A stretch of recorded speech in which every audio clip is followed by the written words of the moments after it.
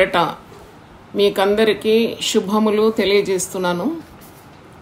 ఈరోజు జీవపు మాట గొర్రెలు పోవు ద్వారము నేనే. యోహన్ సువార్త పదో అధ్యాయం ఎనిమిదో వచనం. యోహన్ సువార్త పదో అధ్యాయంలో కాపరి గొర్రెలు అని మనం చూస్తున్నాం. యేసు ప్రభు చెప్పిన మాట. యోహాన్ సువార్త పదో అధ్యాయం ఏడు నుండి చదువుతున్నాను. కాబట్టి యేసు మరల వారితో ఇట్లనెను గొర్రెలు పోవు ద్వారము నేనే నాకు ముందు వచ్చిన వారందరూ దొంగలను దోచుకొని వారినై ఉన్నారు. గొర్రెలు వారి స్వరము వినలేదు. నేనే ద్వారమును నా ద్వారా ఎవడైనా లోపల ప్రవేశించిన ఎడల వాడు రక్షింపబడిన వాడై లోపలికి పోవుచు బయటికి వచ్చుచు మేత మేల్చుండను. దొంగ దొంగతనమును హత్యను నాశనము చేయుటకు వచ్చును గాని మరి దేనికి రాడు? గొర్రెలకు జీవము కలుగుటకు అది సమృద్ధిగా కలుగుటకు నేను వచ్చితనని మీతో నిశ్చయముగా చెప్పుచున్నాను. నేను గొర్రెలకు మంచి కాపరిని మంచి కాపరి గొర్రెల కొరకు తన ప్రాణము పెట్టును. నా గొర్రెలు నా స్వరం వినును నేను వాటిని ఎరుగుదును అవి నన్ను వెంబడించును. నేను వాటికి నిత్య జీవమునిచ్చున్నాను గనుక అది ఎన్నటికి నీ నశింపదు. ఎవడునో వాటిని నా చేతిలో నుండి అపహరింపడు. వాటిని నాకిచ్చిన నా తండ్రి అందరికంటే గొప్పవాడు గనుక నా తండ్రి చేతి నుండి ఎవడను వాటిని అపహరింపడు. అలా భద్రత భావంతో కూడిన మాట గొర్రెలు పోవు ద్వారము నేనే అని యేసు ప్రభు చెప్తున్నాడు యోహన్ స్వార్థ పదో అధ్యాయం ఏడవ వచనంలో. అంటే ఒక ఇంటికి ద్వారము చాలా అవసరం కదా ముఖద్వారం అంటాం ఎంట్రన్స్ డోర్ ఎగ్జిట్ డోర్. అంటే ద్వారం ఎప్పుడు కూడా భద్రతను సూచిస్తుంది. ఇట్ ఇండికేట్ సెక్యూరిటీ భద్రత లేక కాపుదల. సూచించేది ద్వారం. మరి యేసు ప్రభుకి ఎన్నో నామాలు. మనం యునైటెడ్ పీపుల్ ఫెలోషిప్లో దాదాపు వెయ్యి నామములతో దేవుని స్థుతిస్తూ ఉన్నాము.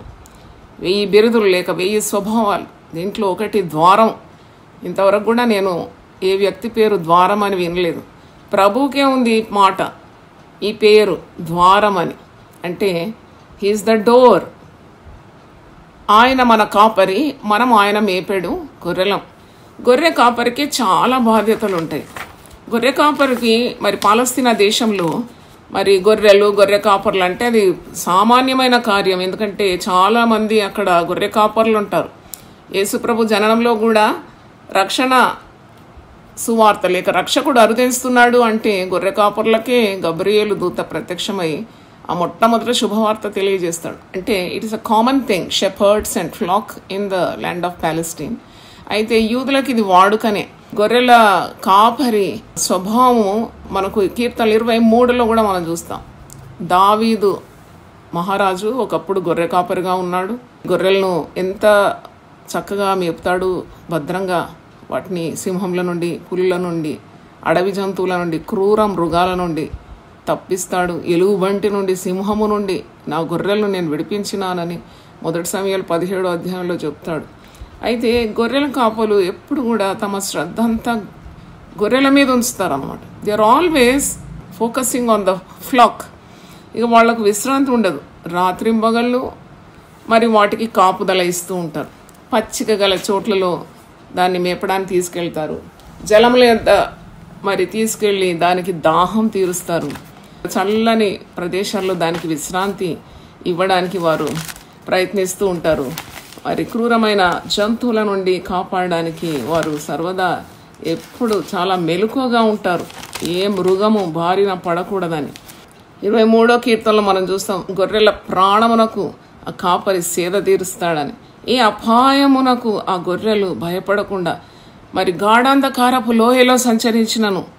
ఏ అపాయం గొర్రెలు భయపడవద్దు. ఎందుకంటే కాపరి మీద అంతగా ఆనుకుంటాయి అవి. మరి కాపరి ఉన్నాడు. కాపరి చేతిలో దుడ్డు ఉంది దండం ఉన్నది మరి కాపరి శత్రువులు చూస్తుండగా భోజన బల్ల సిద్ధపరుస్తాడని నూనెతో తల అంటుతాడని. మరి బ్రతుకు దినములన్నీ అపాయం లేకుండా కృపాక్షేమములే అనుభవిస్తాయి గొర్రెలని. ఇవన్నీ కూడా మనము ఇరవై మూడో కీర్తనలో మనం చూస్తున్నాం. నిత్యం కనిపెట్టి ఉంటాడంట కాపరి. ఏ గొర్రె తప్పిపోకుండా సురక్షితంగా వాటిని మేపుతూ కాస్తూ తన సమయాన్ని గడుపుతాడు. కొన్నిసార్లు ఈ గొర్రెలు మరి మందను విడిచి దూరం ఎటో వెళ్ళిపోతాయంట. మరి దారి తప్పిన గొర్రెలను కూడా తిరిగి మరి మనకు ఉపమానం తెలుసు కదా వంద గొర్రెల్లో తొంభై తొమ్మిది గొర్రెలను కూడా వదిలిపెట్టి కాపరి తప్పిపోయిన గొర్రె కొరకు ఎంత ప్రయాసపడి ఏ ముళ్ళ పొదల్లో లేకుంటే ఏ లోయలో పడిపోయిందో ఎక్కడ మరి తప్పిపోయిందని వెళ్ళి వెతికి దాన్ని వెంటాడి తీర్చుకొని రొమ్మున ఆనించుకొని దొరికినప్పుడు చాలా సంతోషం అని తిరిగి మందలో చేరుస్తాడని ఇవన్నీ మనకు వాక్యంలో మనం చూస్తున్నాం. కొన్నిసార్లు దారి తప్పిన గొర్రెలను క్రూర మృగాలు వాటిని మరి తినివేస్తుంది అలా క్రూర మృగాల బారిన పడకుండా కాపరి ఎంతో భద్రంగా తన గొర్రెలను కాపాడుకుంటాడు. కొన్నిసార్లు దొంగల పాలైతే దొడ్డదారిలో దొంగలు వస్తారు గొర్రెలు పో ద్వారము నేనే అని ప్రభు అంటున్నాడు. అంటే మరి ఆ ద్వారం తప్ప ఇంకొక దొడ్డదారి లేక ఒక దొంగ దారిలో నుండి ఆ దొంగ కాపర్లు వస్తారట వచ్చి ఆ మందలో ఉన్న గొర్రెలను దొంగిలించుకొని పోతారట. అది కూడా కాపరి శ్రద్ధగా గమనిస్తూ ఉంటాడు. అందుకే కాపరి అంటున్నాడు యేసు చెప్పిన మాట ఇది. గొర్రెలు పోవు ద్వారము నేనే. ఐ యామ్ ద డోర్ ఎంత గొప్ప మాట. అంటే కాపరిలో ఇవన్నీ చేయాలి గొర్రెల కొరకంటే కాపరిలో ఎంత ప్రేమ ధైర్యము సహనము సాహసము ఇవన్నీ కూడా మనం కాపరిలో చూస్తాం. అందుకే కాపరిని కలిగిన మనము అంటే మనము విశ్వాసులమంతా మనం కాపరి ఉన్నాడని ప్రభు మన కాపరని మనకు విశ్వాసం. అంటే మనకు ఎంత భద్రత కాపరిలో ఉంది ఎంత క్షేమం ఉన్నది. కాపరి ద్వారానే మనము మేళ్ళన్నీ పొందుకుంటున్నాం. మరి అందుకే కీర్తనకారుడు అంటాడు యహోవా నా కాపరి నాకు లేమి కలగదు. చూడండి మనము ఇంట్లో పడుకునే సమయంలో ద్వారం మూసేస్తాం. ఎందుకంటే దొంగల భయం ఉంటుంది లేకుంటే ఏదన్నా సర్పము విష సర్పం లేకుంటే ఏదన్నా జంతువులు లోపలికి రాకుండా భద్రత తీసుకుంటాం. అంటే వి క్లోజ్ ద డోర్ మరి ఇక్కడ చూస్తే కాపరి ద్వారంగా పనిచేస్తాడంట. దినమంతా ప్రయాసపడతాడు గొర్రెల కొరకు. తిరిగి రాత్రిపూట ఆ కొట్టం దగ్గర ఆయనే ద్వారం. ఆయనే తలపనమాట. అక్కడ వండుకుంటాడంట తన భార్య బిడ్డల మీద కూడా ఆయనకు అంత శ్రద్ధ ఉండదు. గొర్రెలను కాపాడాలనే శ్రద్ధతోటి ఆ వాకిట పండుకుంటాడంట. నేను కాపరి గురించి చాలా మరి నేర్చుకున్నాను. ఒక మన సంఘంలోనే కురుమూళ్ళ అమ్మాయి ఒక అమ్మాయి ఇక్కడ యూనివర్సిటీలో చదువుతుండే. తండ్రి గొర్రెల కాపరి. వాళ్ళకు వందకు పైగా గొర్రెలు ఉన్నాయంట ఒకరోజు ఆమెను పిలిచి కూర్చోబెట్టి మీ తండ్రి ఏమేమి చేస్తాడనన్నీ నేను స్టడీ చేసినాను. అప్పుడు ఆమె అన్నది నా తండ్రి గొర్రెలను పేరు పెట్టి పిలుస్తాడమ్మా. ఒక్క గొర్రె తప్పిపోతే ఆయనకు తెలిసిపోతుందమ్మా. మరి ప్రతి గొర్రె కూడా ఆయన స్వరానికి స్పందిస్తుంది. ఆయన మాటనే వింటది. వేరే కాపర్ల స్వరం వినదది ఆ గొర్రెలు ఆ సొంత కాపర్ని గుర్తుపడతాయి. కాపరి స్వరానికి స్పందిస్తాయి అని ఎన్నెన్నో విషయాలు చెప్పింది. ఒక్కటి చెప్పింది ఏంటంటే నా తండ్రికి ఇంటికి రావడం ఆ గొర్రెలను కాసి తర్వాత మేమే అందరికి ఆహారం తీసుకొని పోయి ఇవ్వాలి. ఆ కొట్టం దగ్గర అన్నిటినీ కొట్టంలో చేరుస్తాడు. అన్నిటిని తిరిగి లెక్క పెడతాడు. అన్నీ ఉన్నాయా చూస్తాడు. తర్వాత కొట్టం దగ్గర అక్కడ పడుకుంటాడు ఆయన. మరి గొంగళి కప్పుకొని అక్కడ వండుకుంటాడు. ఒక్కొక్క గొర్రె ఇంటికి వచ్చేటప్పుడు కొట్టానికి వచ్చేటప్పుడు ఒక్కొక్క గొర్రెను తడుముతాడమ్మా. ఒక్కొక్క గొర్రె అంటుకున్న మైల మురికి తీసేస్తాడమ్మా. ఒక్కొక్క గొర్రెను ఎంత లాలన పాలన చేస్తాడు. దాంట్లో చూలాలేది ఏది ఏది కడుపుతో అంటే పొట్టతో ఉంది చూస్తాడు. ఏ దేనికి గాయమైంది చూస్తాడు. ఏది కుంటుతుంది చూస్తాడు. ఎక్కడన్నా గాయం ఉందా? మరి ఇవన్నీ కూడా పరీక్షిస్తాడు. ఏదైనా రోగం సోకిందా అని చూస్తాడు. ఎంత శ్రద్ధగా ప్రతి గొర్రె గురించి పట్టించుకుంటున్నాను అప్పుడు నాకు అనిపించింది నిజంగా. ప్రభువుకు మంచి పేరు కదా. నేను గొర్రెలకు మంచి కాపరిని. మంచి కాపరి తన గొర్రెల కొరకు ప్రాణం పెడతాడు. మరి దొంగ కాపర్లు ఎవరు? అంటే దొంగ కాపర్లు ఎవరు అంటే వారు గొర్రెలను చీల్చి చెండాలడానికి గొర్రెలను రింగివేయడానికి వస్తారు. వాళ్ళు గొర్రెల మేలు కోరరు. అంటే వాళ్ళ అబద్ధ ప్రవక్తలు దొంగ బోధకులు. వాళ్ళు కఠినాత్ములు. గొర్రెలతో వారు కఠినంగా వ్యవహరిస్తారు. ప్రేమలేని కాపర్లు. అందుకే ఆ గొర్రెల కొరకు మరి నేను ప్రాణం పెడుతున్నాను. నేను నిజమైన కాపరిని అని యేసు ప్రభు యోహాన్స్ వార్త పదో అధ్యాయంలో చెప్తున్నాడు. ఇంత మంచి కాపరి మనకు ఉన్నాడు. కనుక మనము ఆయన మేపేడు గొర్రెలం కాబట్టి ఏమాత్రమో భయపడదు దేనికి. అది ఏదైనా మన దగ్గర రావాలంటే కాపరిని దాటుకుంటే రావాలి కదా. అంటే కాపరికి మన గురించి ఎంత శ్రద్ధ ఉంది ఎంత చింత ఉంది. గొర్రె కాపరి లేని మంద ఎలా ఉంటుంది? నేను అడిగినాను ఒకవేళ కాపరే లేకుంటే ఎలాగుంటాయి గొర్రెలు అంటే అమ్మా అవన్నీ మురికి బట్టి అక్కడిక్కడ మురికితో దానికి శుచి శుభ్రం లేకుండా మరి అది చాలా ఆకలితో దాని ముఖంలో ఆకలి చూడొచ్చు దాని ముఖంలో మరి దాహం చూడొచ్చు. ఏ భద్రతా భావం లేకుండా సెక్యూరిటీ ఫీలింగ్ లేకుండా ఉంటాయి అట్టి గొర్రెలు. అందుకే కాపరి లేని గొర్రెలను చూసినప్పుడు యేసుప్రభు కన్నీళ్ళు విడిచినాడంట. కాపరి లేని గొర్రెలను చూసినట్టు ప్రతి మందకు ఒక కాపరి కావాలి. కాపరి పోషిస్తాడు సంరక్షిస్తాడు పచ్చిక బయల్లో తీసుకొని వెళ్తాడు దాహం తీరుస్తాడు ఆకలి తీరుస్తాడు ప్రాణానికి సేద తీరుస్తాడు కాపుదల భద్రత పోషణ ఇవన్నీ కూడా కాపరి తన గొర్రెలకు అనుగ్రహిస్తున్నాడు. అంటే మరి ఈ కాపరి ఎప్పుడు కూడా గొర్రెల మీద లక్ష్యం ఉంచి తర్వాత మరి గొర్రెలను చాలా భద్రంగా కాపాడుకుంటాడని వాక్యంలో మనం చూస్తున్నాం. అయితే కాపరి మన కాపరి ప్రభు అన్నాడు గొర్రెలు పోవు ద్వారము నేనే అంటే వాక్యంలో మనకు అర్థం కావాలి. ఆయనే సత్యదేవుడు ఆయనే పాపరహితుడు ఆయనే మరి నీతిమంతుడు ఆయనే పరమునకు అధిపతి ఆయనే పూజనీయుడు ఆయనే రాజులకు రాజు ఆయనే ప్రభువులకు ప్రభు. దైవత్వం యొక్క సంపూర్ణత యేసు క్రీస్తులోనే మనం చూస్తున్నామని కొలసి పత్రిక రెండవ అధ్యాయం తొమ్మిదవ వచనం ఈ కాపరి మనల్ని ఎప్పుడు కూడా ఎడబాయడు. నేను అడిగిన అమ్మాయితోటి మీ నాన్నగారు కాపరి కదా మరి గొర్రెలను వదిలేసి ఎక్కడ వెళ్తారు? ఎక్కడికి వెళ్ళడమ్మా? ఆయన దివారాత్రులు గొర్రెలతోనే ఉంటాడు. నాకు అప్పుడు గుర్తొచ్చింది ఇస్రాయేల్ను కాపాడువాడు కునుకడు నిద్రపోడు. అంటే ఎంత శ్రద్ధగా మరి గొర్రెల కాపరి విశ్రాంతి లేకుండా నిత్యము గొర్రెలను కనిపెడుతూ దాంట్లో ఏది రోగిగా ఉంది ఏది తప్పిపోయింది ఏది లోయలో పడింది ఏది క్రూరముగము కాటేసింది గాయం ఉంది. మరి ఇవన్నీ కూడా ఇంత ప్రేమతో మేపడం కాపాయడం ఇవన్నీ కూడా మనం చూస్తాం. అంటే పేతురుని అడుగుతాడు కదా యేసు ప్రభు నిజంగా నువ్వు నన్ను ప్రేమిస్తే మూడు సార్లు పేతురుతో ప్రశ్నిస్తాడు. నువ్వు నన్ను ప్రేమిస్తున్నావు అంటే అవును ప్రభా నేను ప్రేమిస్తున్నాను అంటే నువ్వు నన్ను ప్రేమిస్తే నా గొర్రెలను మేపు నా గొర్రెలను కాయు నా గొర్రెలను చిన్న గొర్రెలను మేపు అని మూడు సార్లు మనం చెప్పడం చూస్తున్నాం. అంటే such a nice refreshing thought to think that Jesus is our shepherd మరి గొర్రెలు ద్వారం దగ్గర నిలబడి ఎప్పుడు అంటే దానికి తలుపులు ఉండవంట. కొన్ని కొట్టాలకు అసలు తలుపులే ఉండవంట. కాపరే తలుపు అనమాట చూడండి కాపరిని దాటుకుంటే కొట్టడానికి వెళ్ళాలి కాపరి దాటుకుంటే బయటికి రావాలి. అందుకే అవి సంతోషంగా మేత వేస్తే సంతోషంగా లోనికి వస్తాయి సంతోషంగా బయటికి పోతుందని అంటున్నాడు.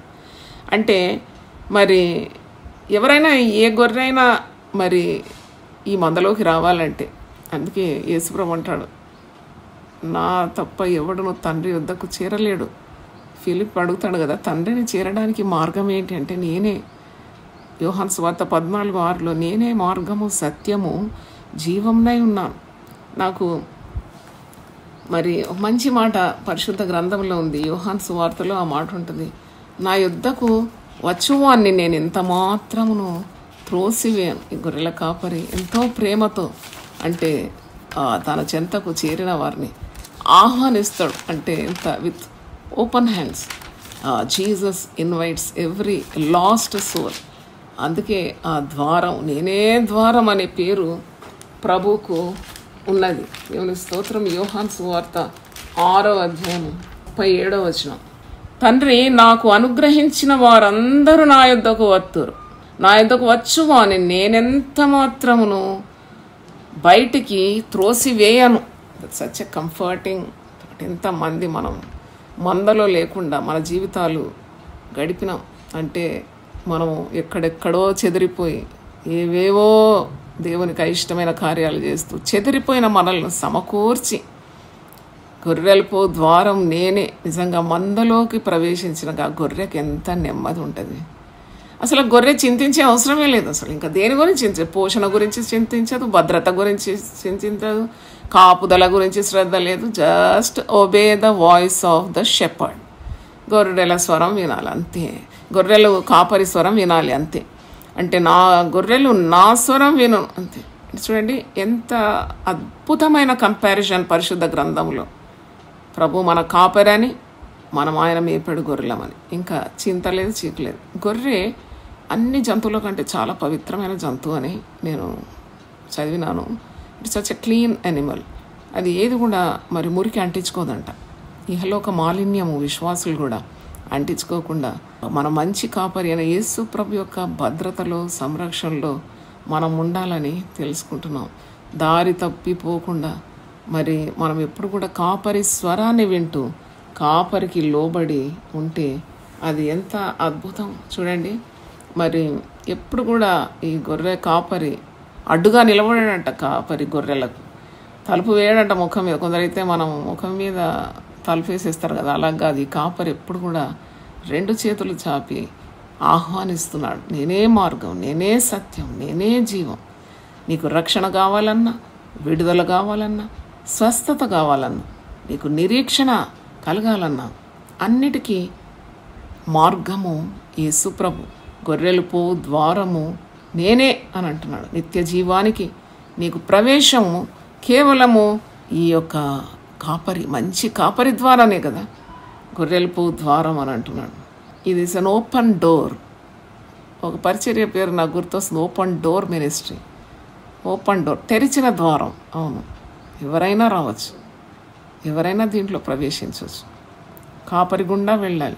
ఎంత సంతోషం. ఎంత నెమ్మది. ఎంత విశ్రాంతి. విశ్రాంతి లేని లోకంలో ఉన్నాం. మాలిన్యంతో నిండిన లోకంలో ఉన్నాం. ఎటు చూసిన భయకంపితమైన వార్తలు. ఎటు చూసిన మరణ వార్తలు. నిన్న ఒకరు ఫార్వర్డ్ చేసినారు. వ్యాక్సిన్ తీసుకుంటే ప్రమాదం అని ఒకటి. నేను అస్సలు చూడలేదు. అది చూడలేదు. నాకు అనవసరం ఇవన్నీ. నేను మాత్రం నా కాపరి స్వరం వింటాను. కాపరికి లోబడతాను. ఈ జీవితానికి నా కాపరి సరిపోయినాడు. నన్ను పోషిస్తాడు నన్ను కాపాడుతాడు. ఆయన నీడలో నేను బ్రతుకుతాను. నాకేం కొదువా? నాకేమీ కొదువా? నాథుడుండ ఇక నాకేమి కొదువా నాథుడుండ నాకేం కొదువా? నా ప్రభు నా కాపరిగా ఉన్నప్పుడు. మరి నేను మరణించినా భయపడను ఎందుకంటే నా కాపరి నన్ను నిత్య జీవంలోకి దాటిస్తాడు. అంటే గొర్రెలు నిత్య జీవంలో ప్రవేశించాలి అంటే యేసు అను ద్వారము నుండి ప్రవేశించాలి. దేవునికి స్తోత్రం. హాలెలుయ. దేవుని వాక్యం విన్న మిమ్మల్ని అందరినీ కూడా దేవుడు గొప్పగా ఆశీర్వదించాలని నేను కోరుతూ ఒక పల్లవి పాట పాడి నేను ప్రార్థన చేసి ముగిస్తాను. ఏసునాదు నాదు కాపరివాణి వాసిగా స్తుతించేదన్.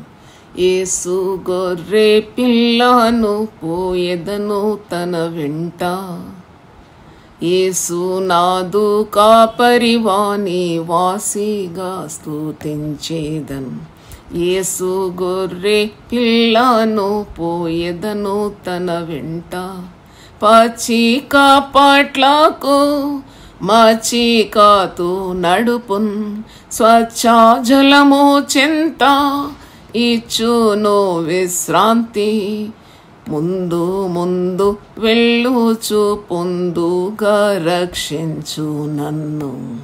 తన మాధుర్య స్వరంబున తనివి తీర్చును. ఏసు నాదు కాపరివాణి వాసిగా స్థుతించేదన్ ఏసు గొర్రె పిల్లను పోయేదను తన వెంట. మరణాలోయ ద్వారా సరిగా నడిపించును.